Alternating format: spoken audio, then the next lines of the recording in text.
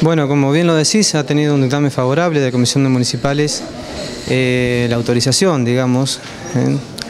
de los fondos que están en la cuenta de, la vecina Comisión de Fomento Cubanea para que de alguna manera San Javier, quien ya viene prestando gran parte de los servicios que demanda aquella comunidad, pueda hacerse de esos recursos. Ustedes saben que todas las comisiones de fomento reciben un aporte mensual en partes iguales lo cual pone en una desventaja a San Javier, que es la comisión de fomento más grande de las 33 que tiene nuestra provincia, y que resulta imposible por ahí con esos fondos dar respuesta. Así que esto viene de alguna manera mm, a ordenar esta situación que no justamente eh, no significa derogar nuevos recursos, sino utilizar los que están y que son lo que la cuenta de, de, Cubanea justamente viene acumulando desde hace dos años, ya que se encuentra céfala por no tener comisionado de fomento. Em, el destino de los fondos es eh, seguir fortaleciendo los actuales servicios que tiene San Javier y que pretende seguir acompañando a eh, Cubanea, ustedes saben, lo decía también, eh, hay una cuestión de vecindad de muchos años entre las dos comisiones de fomento, que son las únicas dos comisiones que se encuentran dentro del departamento de Alfonsina, dentro del Valle del Idevi. Las demás comisiones de fomento sabemos que están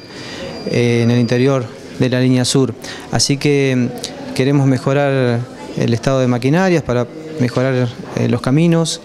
realizar picadas, el año pasado hemos tenido grandes pérdidas materiales por, un incendio que arrasó gran parte de Cubanea y que podríamos haberlo evitado contando con una motivadora, por ejemplo, acorde a esa necesidad, mejorar la infraestructura de nuestros bomberos de San Javier, que acuden siempre que hay un incendio en aquella zona, porque forman parte también de la vecindad. Eh, bueno, el destacamento de, de Cubanea, que depende de la Comisaría 41 de San Javier, un edificio antiguo que necesita refacción, necesita mejorar también los servicios para toda la zona que se está radicando hoy en Cubanea. La Escuela Rural 67 que también tenemos a cargo desde nuestra Comisión de Fomento, al refrigerio, en acompañar a los chicos con distintos talleres que estamos brindando desde San Javier como patín y algunas actividades que hacen a, la recreación de los 20 alumnos que hoy ya tiene aquella escuelita rural, mejorar su estado de ilicio,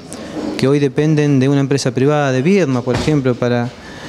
para el mantenimiento, ¿no? algo que, en la práctica es inviable, a veces pudiendo estar nosotros con una mejor presencia y una mejor eficiencia en los recursos para mejorar la parte edilicia de aquella escuela. Así que, bueno, la idea es esa, seguir mejorando la calidad de vida de esos vecinos que han sido olvidados muchos años también en esta parte del Valle Inferior.